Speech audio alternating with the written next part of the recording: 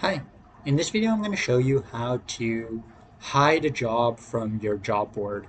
Now, uh, in general, you know, there's there's some jobs that don't appear on the job board anyways. Uh, in general, closed jobs, filled jobs, or jobs that are marked as a draft um, do not appear. So if it's draft, closed, filled, they don't appear by default on the job board. There is a setting to show filled jobs on the job board, so that's what you're what you're seeing here. Uh, it can be a cool way to show off how amazing your agency is and uh, express to parents and, and applicants, um, you know, that you've done exactly what they're looking for before, so you can probably do it again. But uh, yeah, so let's say you're showing filled jobs on your job board, but you want to hide one of them.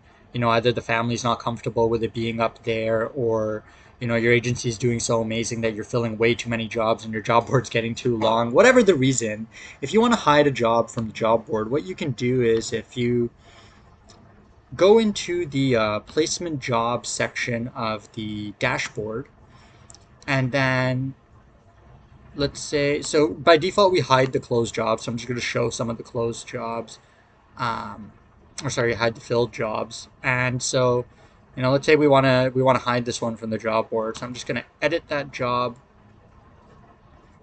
And then if you scroll to the bottom, there's an option to hide from the job board.